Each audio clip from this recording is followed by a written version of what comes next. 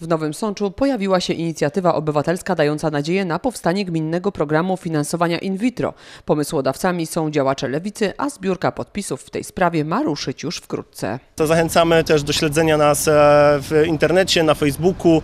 E, Jest już dostępna strona, e, na której będzie można śledzić wszystkie aktualności związane z tą inicjatywą uchwałodawczą. Strona nazywa się jak nasz projekt, czyli In Vitro dla Nowego Sącza, inicjatywa obywatelska. Tam będzie można pobrać formularz do zbierania podpisów i już w najbliższych dniach e, taka akcja e, e, zbierania podpisów zostanie oficjalna, oficjalnie zainaugurowana. Projekt jest gotowy, przekonuje Jakub Bocheński, a także odpowiednio skalkulowany. Ma ruszyć w 2022 roku. W tym czasie według przyjętych założeń z możliwości zapłodnienia drogą in vitro skorzysta w Nowym Sączu 60 par. Koszt programu jest przewidziany na 180 tysięcy rocznie, czyli łączny koszt na przestrzeni 5 lat to jedynie 900 tysięcy złotych, także nie są to jakieś ogromne pieniądze. E, Program e, zakłada do e, trzech możliwości mm, prób zapłodnienia.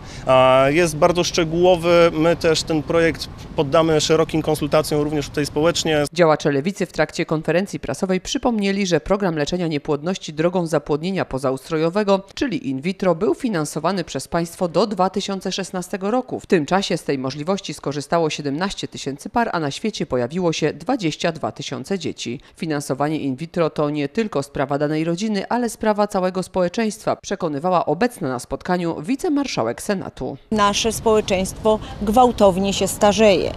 Jeżeli przyrost naturalny nie zwiększy się, to za kilkanaście lat na jednego zatrudnionego będzie przypadał jeden emeryt.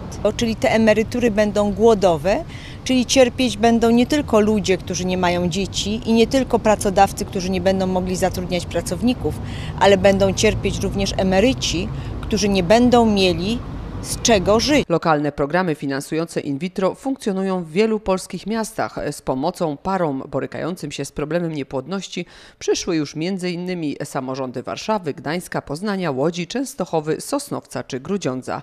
Jeśli pomysł spodoba się mieszkańcom Nowego Sącza, ma szansę zaistnieć także w naszym mieście. Zdaniem lekarzy niepłodność staje się prawdziwą epidemią. Co szósta, a nawet co piąta para w Polsce ma problemy z poczęciem dziecka. Ten problem według ekspertów WHO dotyczy 10-12% populacji w krajach najbardziej uprzemysłowionych.